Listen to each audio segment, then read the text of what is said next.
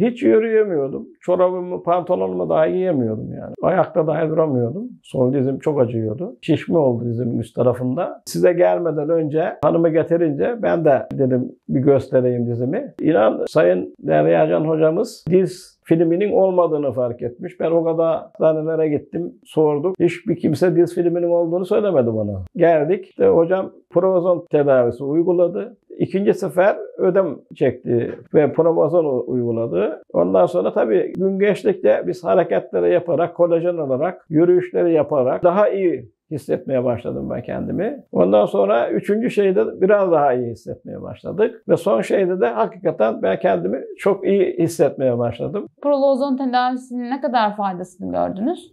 Çok faydasını gördük. İşte hiç hareket edemiyorduk yani. Eşinizin sol dizinde de bir sıkıntısı vardı. Daha sonra sizin de aynı şekilde sol dizinizde bir sıkıntı olduğunu fark ettiniz. Gerekli tetkikler yapıldıktan sonra romatizma değerlerinize ve grafilerinize bakıldıktan sonra dizinizde kireçlenme ve ödem şikayetiyle bize başvurdunuz. Sol dizinize prolozon tedavisi uyguladık. Üçüncü seansınızı yaptık. %80 iyileştiğinizi söylüyorsunuz. Hem egzersizlerinizi hem kolajeninizi kullanmaya devam ettiniz. Evet. Uyguladınız. Şu an çok çok iyisiniz. İyiyim. Daha da iyi olmak için damardan esefozon tedavisine bugün başlayıp bağışıklığınızı da kuvvetlendireceksiniz. Buraya geldikten sonra bir çare olduğunu gördük ve devam etmekte istiyoruz. Ekibe ve hocama çok teşekkür ediyorum. Hepinize çok memnunuz. Bu tedaviye de devam etmeyi düşünüyoruz. Hepinize kolay gelsin. Çok teşekkürler. Sağ olun.